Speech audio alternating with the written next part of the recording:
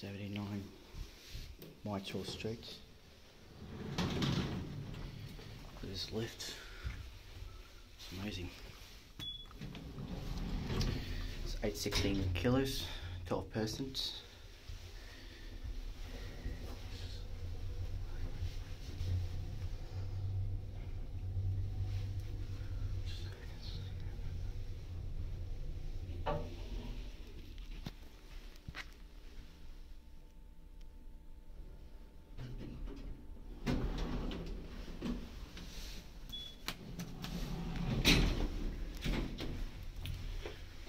This build was made very recently. This. Amazing.